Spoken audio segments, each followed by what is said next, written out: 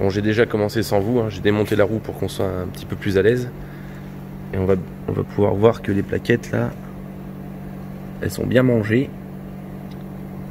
et qu'il faut les changer. Donc pour les changer, c'est pas compliqué. C'est ici que ça se passe. Vous avez une plaquette intérieure, une plaquette extérieure, un piston ici qui vient pousser et quand ça pousse, les plaquettes viennent se serrer sur le disque et du coup le bloc et il peut plus tourner. Alors sur ces étriers là, c'est pas très compliqué à faire. Vous avez ici un petit axe qui vient fixer la mâchoire mobile ici sur le support d'étrier qui lui est fixé à l'essieu. Donc pour retirer ce petit axe là, il y a un trou là ici avec une toute petite goupille qu'il faut retirer et lui vient sortir par ici là. Pour démonter cette petite goupille et ce petit axe juste là, il faut vous munir d'une pince à béclon. Voilà. De ce type-ci. On vient prendre l'axe comme ça. Bon, si ça vient pas, on y met un petit peu de dégrippant. Et là, vous voyez, juste là, que du coup, l'étrier est libéré. Donc le piston, lui, est juste ici. On peut le voir. Il faut contrôler les soufflets, l'état des soufflets qui sont en bon état. Voilà. Éventuellement, enlever la poussière ou le sable qui a pu se loger à l'intérieur.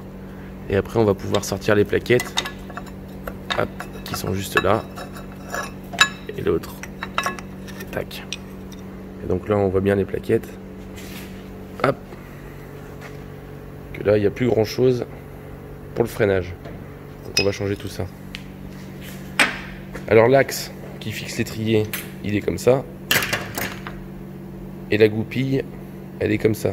Bon alors une fois que tout est propre, ce qu'il va falloir faire, c'est repousser le piston au fond de son, de son logement pour pouvoir monter les nouvelles plaquettes parce que du coup, elles n'ont pas la même épaisseur que les anciennes, vu que les anciennes étaient usées et que les nouvelles sont neuves. Pousser le piston de la pince de frein, moi je vais utiliser un repousse piston parce que j'ai l'outil.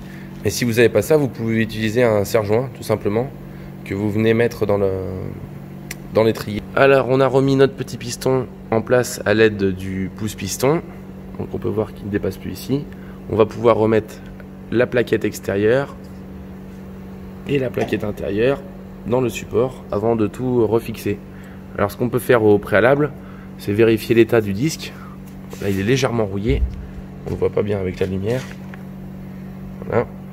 Donc ce qu'on va faire, c'est qu'on va passer un petit coup de papier de verre, histoire de remettre un petit peu l'état de surface, qu'il y ait un petit peu de, de mordant sur le, sur le disque. Alors là on a notre disque qui est rouillé, et là, on a du papier de verre. Voilà, donc on frotte bien.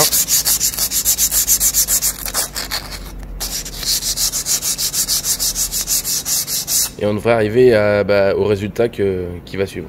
Et voilà la piste toute belle. Pas toute neuve, mais toute belle.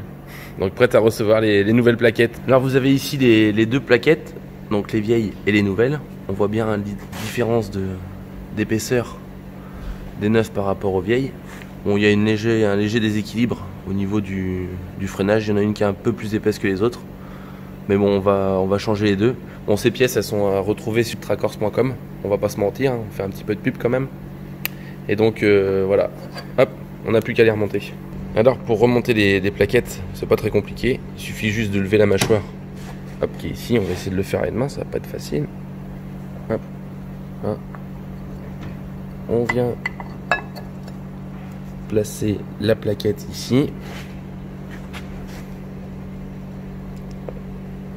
Dans le petit support. Et on va faire la même chose de l'autre côté. Mais là, il va falloir que je lâche la caméra parce que je peux pas tenir la caméra, tenir l'étrier et mettre la plaquette. Voilà. Alors là, les deux plaquettes sont en place. Tac. Dans leur support. Le piston, lui, est bien repoussé à fond. Maintenant, on va remboîter remboîter ça, tac, ici.